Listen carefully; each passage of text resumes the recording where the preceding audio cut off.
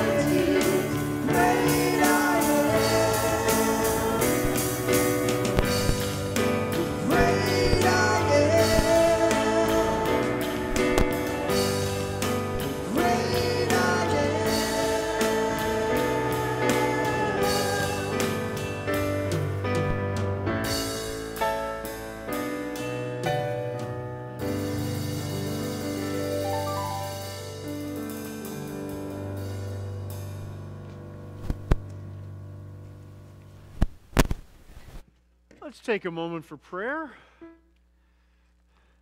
Let us pray. Holy God, you hear the cries of those who seek you. Equip your church with evangelists who reveal the continuous call of your outstretched hands and your promises of a home in you. You hear the cries of those who are marginalized or cast out on this Juneteenth observance, guide us continually toward the end of oppression in all its forms, especially white supremacy. Bring true, bring true freedom and human flourishing to all your beloved children. You hear the cries of those who suffer. Come to the aid of all who are homeless, hungry, and sick Bring peace to any experiencing mental illness that they can clearly recognize your loving presence. And we ask that you hear now our prayers for those in our lives and for those around the world as we offer them with our voices or with our hearts.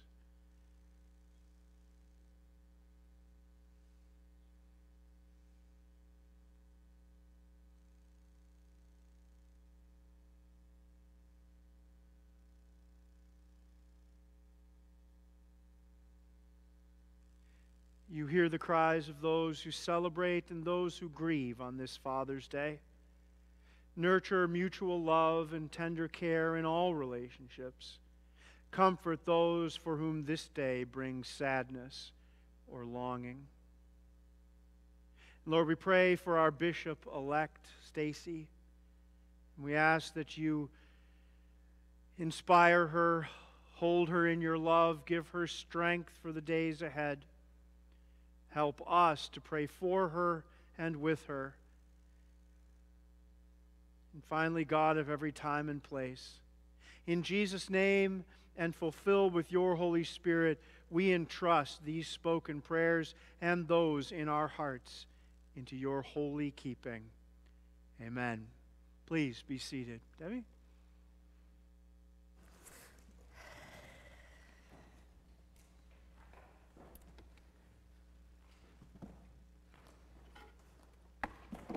Oops.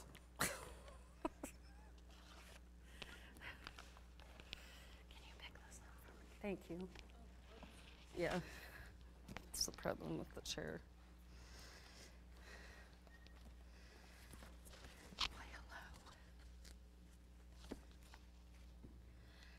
Well, good morning. So, um, this past week, on Monday Fun Day, we talked about superheroes. And upstairs this morning, Katie and I worked with the kids on superheroes as well. And I wanted to read today from Luke 19:10. And it says, "For the Son of Man came to seek out and to save the lost." So um, I'm looking over here at Dan and Jake and Katie, um, who I know are superhero enthusiasts. But I want you to think about like, who is your favorite superhero, Dan? Batman? Okay, why do you like Batman? Because he's smart and cool. Okay. Okay. Um, what about you, Jake? Oh, you were going to say, well, you could still say Batman. okay. Do you have a different reason why you like Batman?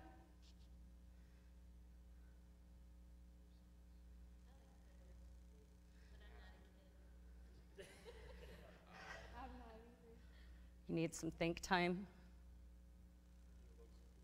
He looks cool. and he's rich. Wow. Okay. Um, Donna, why do you like Thor? Oh, wow. Okay. Katie, who's your favorite superhero? Nightcrawler. Nightcrawler. Why is Nightcrawler your favorite? Um, he's intelligent and he's um, he's friendly to everyone. He's intelligent and friendly to everyone. Okay. All right, so we were talking with the kids upstairs that Jesus should be our favorite superhero, partly because he was selfless, right? He put the needs of others above his own, right? And we were talking, we actually did a video where it talked about the different weaknesses of different superheroes. Um, one of them was actually Batman. And it said that Batman's pretty lonely, actually. But if we think about Jesus, Jesus was a friend to everyone, right? And then, let's see, who was the other one? Superman. Superman actually had some really good qualities, but what was his weakness? Kryptonite, right? But nothing could ever fully defeat Jesus Christ, right? And that's what we talked about. And then we also talked about the Hulk, which it was an interesting video because it talked about how he had two personalities, right? Bruce Banner, who was smart and controlled, and the Incredible Hulk, who basically couldn't control his anger, right? And if we think about Jesus Christ, he also was not only God, but he was also fully man. But he gave us an example of how we could love others and have self control, and through the fruits of the Spirit, become more like him through his Holy Spirit. Correct? So today I want you to reflect on how Jesus is our superhero, and that because of our Heavenly Father God, we can have that same power, right? Okay, so we're going to do prayer now. Okay. Dear God, Dear God, thank you thank you for sending us Jesus for sending us Jesus. and help us And help us to become more like him. to become more like him. In Jesus' name, In Jesus' name. amen. Can you help me with the share? All right, where does it go? Right there.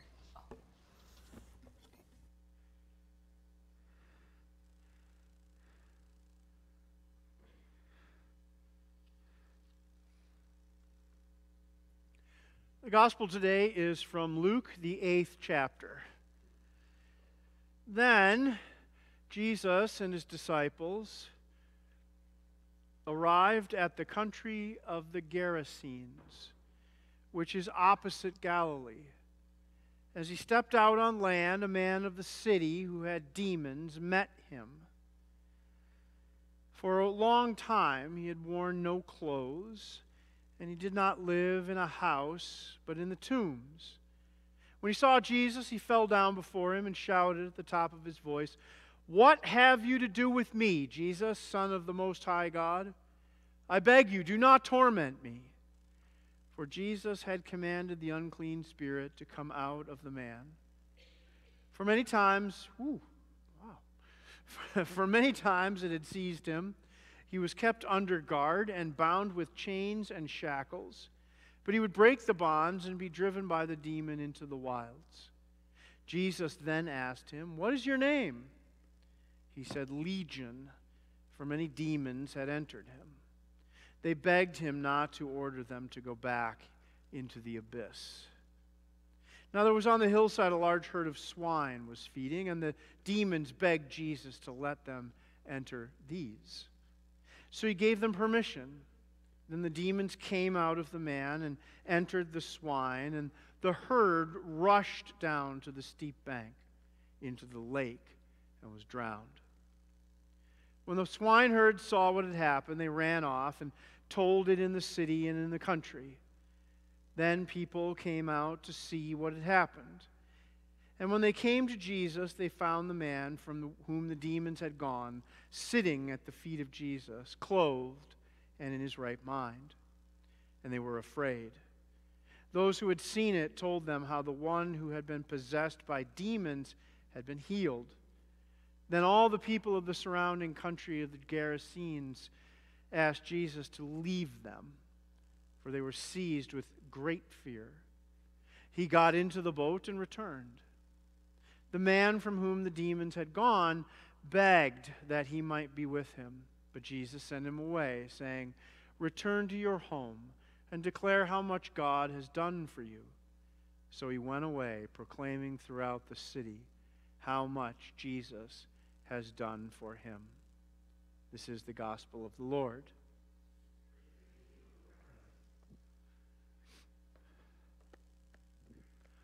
Doug, I'm going to go rogue again. This is where I belong. This is a very happy day. Very happy day indeed. Three important things happen at Trinity today, and they're all related. Hopefully, I can get you to believe me on that. The first is it's Juneteenth. So on January 1st, 1863, President Lincoln signed the Emancipation Proclamation. But that didn't do a whole lot at that moment. It didn't throw open the doors and chains didn't magically drop off.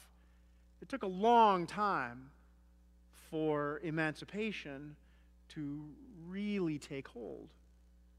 And it wasn't until June 19th, 1865, two and a half years later, that the last outpost in Galveston, Texas, was reached by, the federal, by federal soldiers to uh, enforce the Emancipation Proclamation.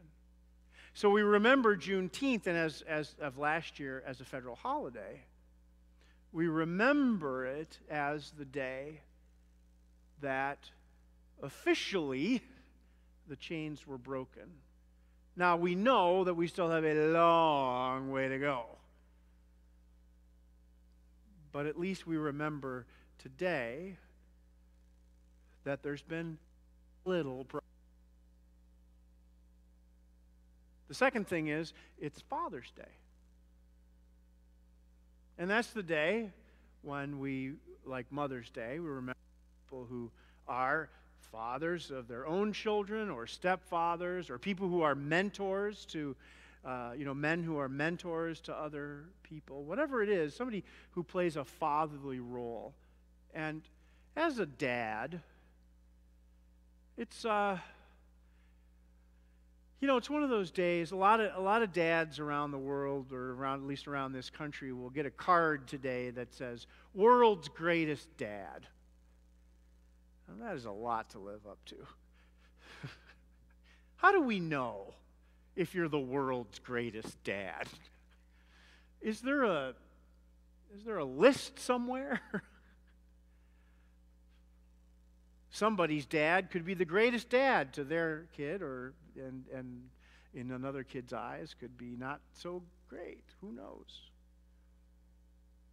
But we dads and moms, and really anybody who is in other people's lives in a, in a mentoring or even authoritative way, can easily, easily fall into a trap, I would say a kind of prison, a kind of chains, that's always looking to be better.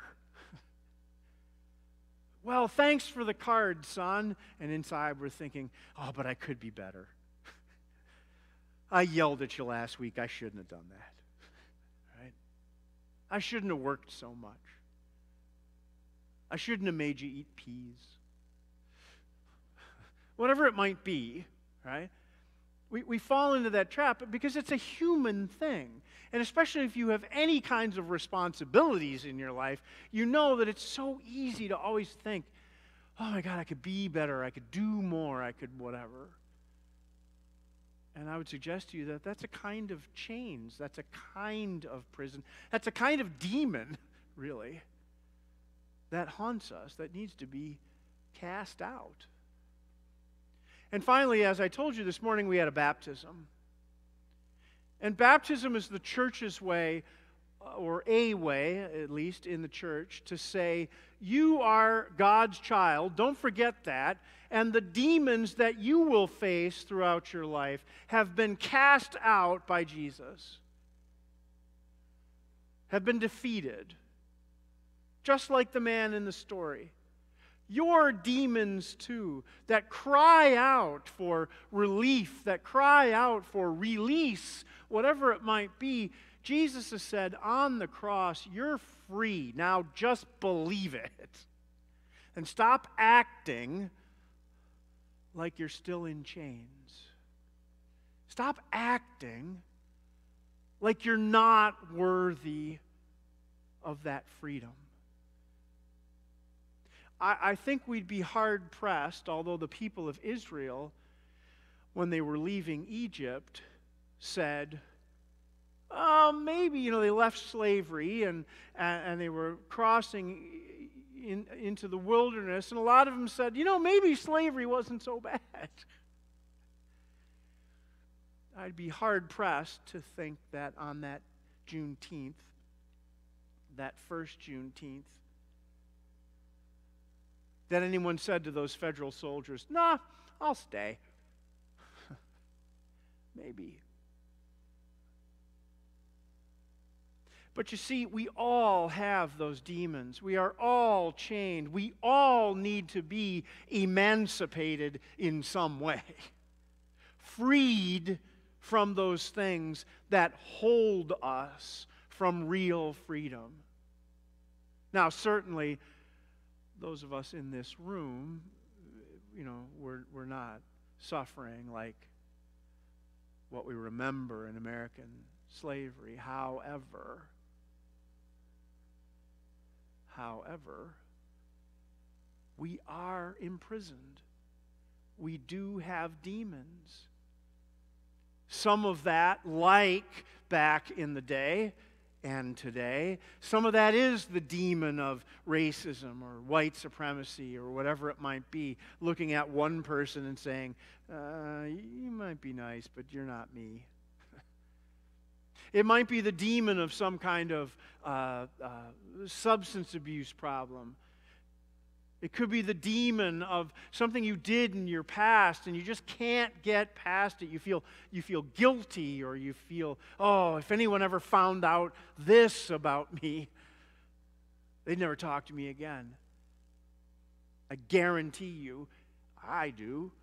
We all have demons. There's, all, there's something that haunts us, something that needs to be driven out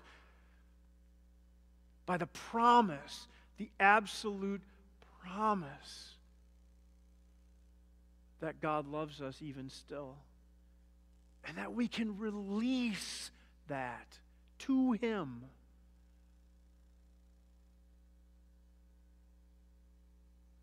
We can. He calls out to us to do so. And then he says, like to the guy in the, in the story, you are free. Now go tell others about it. Go tell others what it's like to live in freedom.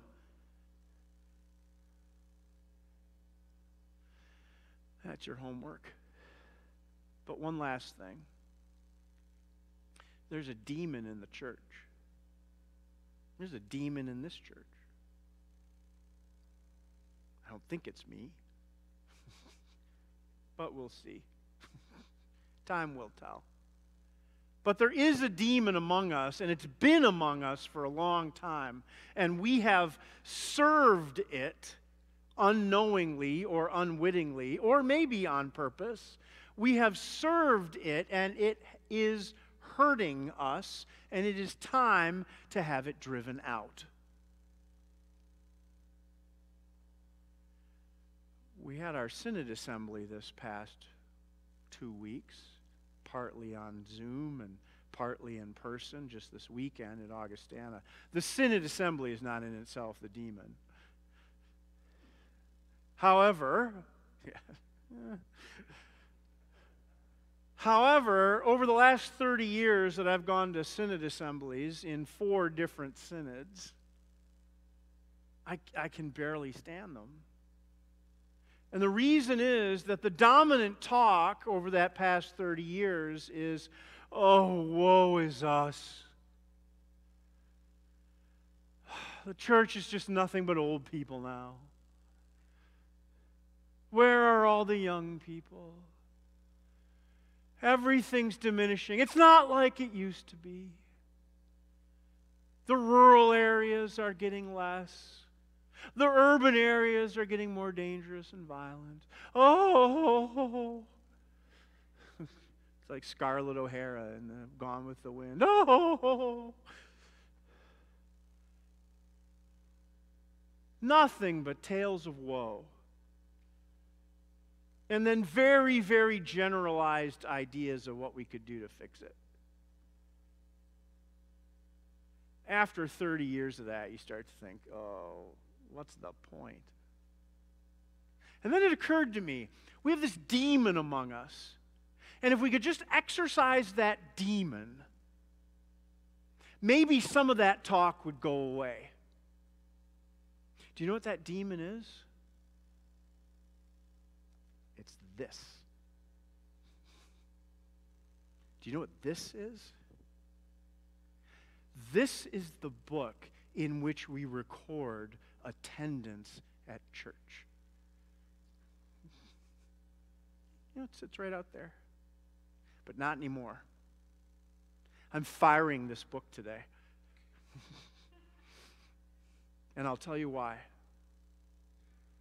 One of the things you also hear at synod assemblies and in churches like ours where are the numbers? Where are the people? Every month at the council meeting, how much money do we have? How much money don't we have? How's our endowment doing? Is it good or is it bad? Numbers, numbers, numbers, and they are meaningless. If there were 50 more people in, sitting next to you right now, would God be more praised? Would this sermon be better? if there were 50 less people sitting in the room right now, would God be going, Oh, what happened to Trinity? Not enough people worshiping me. Would the sermon be worse? Would you be any less important in the eyes of God? Remember what Jesus said two or more are gathered, there am I. Anybody else sick of looking across the river and going, Oh, I wish we could be them? I am. They're them and we're us. And in the eyes of God, we're both enough.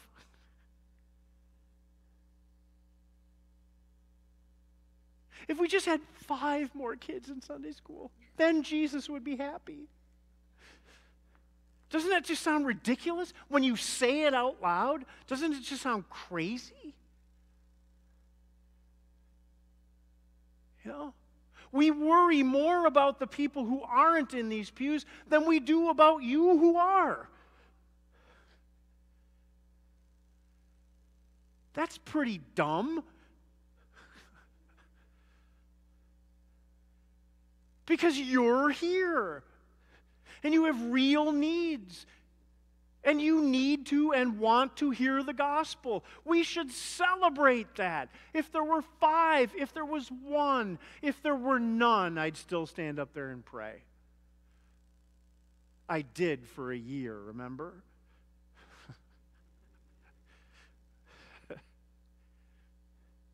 there was nobody here. Dave was here, he filmed. Tom was here occasionally when we, you know, we wanted to add some music. But there was nobody here. Was God any less praised? Was Jesus any less recognized as Savior? Did the Holy Spirit take the year off and go to South Beach?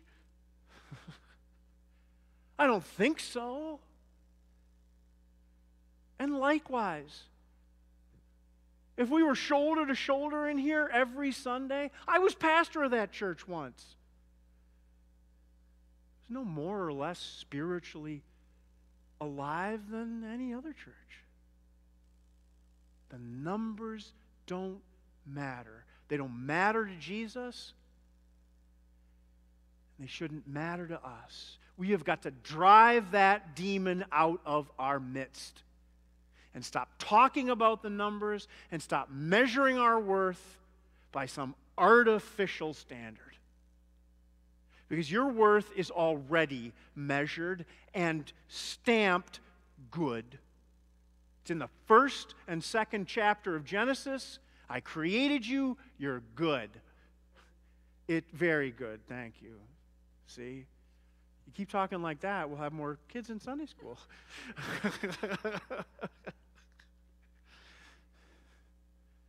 and then it'll be worth having you here. right? But again, doesn't that sound crazy when we say it out loud? Yes, we'd love it if the place was full, but not because that makes us a better church. We want people to be here so they, like you, can hear the message of love and forgiveness and grace, that they might be able to say, Wow, you mean my demons are covered by Jesus? You mean this doesn't have to break me down and haunt me every day of my life? Yeah, that's why we want more people, so they can hear the word. Not because we're going to be better. When all is said and done, it's not like we're going to get a trophy. Right? You die, you're at the pearly gates. Congratulations, you guys were first. what does that get you, right? This is not a contest. And Jesus showed us by driving out demons of all sorts of people, not just in today's story. He didn't drive out those demons and then say, Now get to church and take your envelope with you. he just said, Go, be free, and tell other people how great this is. Because then we can set about driving out the demons of racism and sexism and poverty and all the things that haunt our culture. But that only happens when you have free people recognizing, just like on Juneteenth, the humanity in the eyes of God that says all people should be free. Not because of a constitution, not because of a proclamation, but because God said so. All people should be free. So, recognize your freedom, use it, and invite others so they can hear this gift that we have called grace. Amen.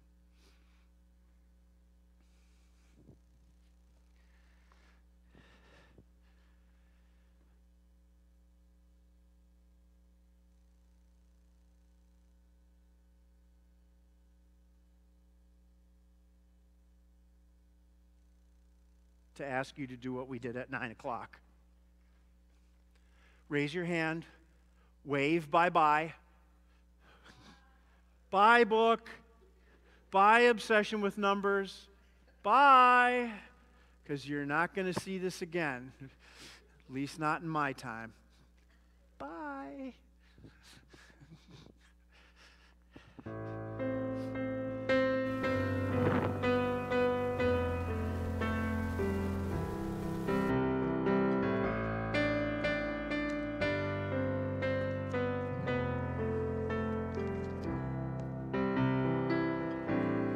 Before I spoke a word, you were singing over me.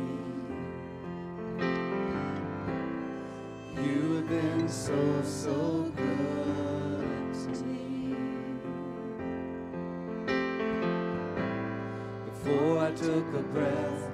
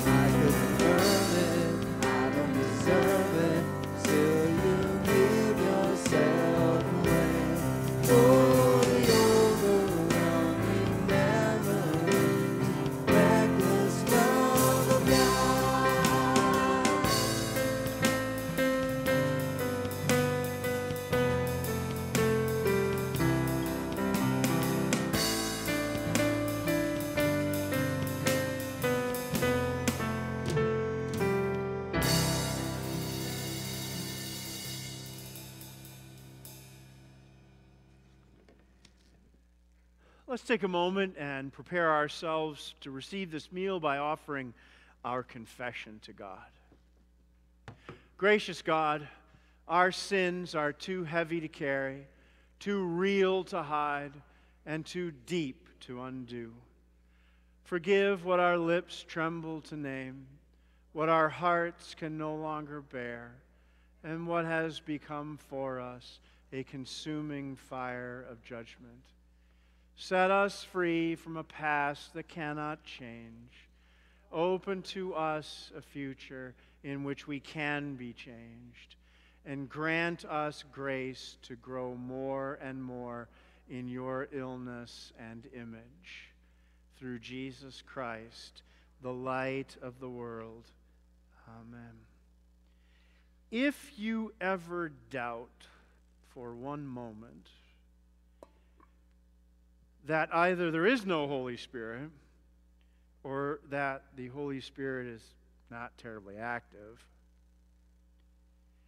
Dave Moyman and I do not talk about music, the sermon, and he does the uh, confessions. And yet, the themes seem to come together somehow. We really don't talk about it.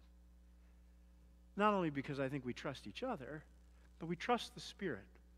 And so far, Spirit seems to be coming through. So, thanks for that confession. And likewise, Jesus, on that night when he knew things were happening, he knew that no matter what happened, that he was free because God said so. And not chains and not whips and not a cross could make him not free. And so, in the night in which he was betrayed, our Lord Jesus took bread. He gave thanks. He broke it. And he gave it to his disciples, saying, Take and eat. This is my body given for you. Do this for the remembrance of me. Again, after supper, he took the cup, he gave thanks, and he gave it for all to drink, saying, This cup is the new covenant in my blood, shed for you and for all people for the forgiveness of sin. Do this for the remembrance of me. And now let us pray as he has taught us. Our Father in heaven, hallowed be your name. Your kingdom come, your will be done, on earth as in heaven. Give us today our daily bread. Forgive us our sins as we forgive those who sin against us. Save us from the time of trial and deliver us from evil. For the kingdom, the power, and the glory are yours, now and forever. Amen.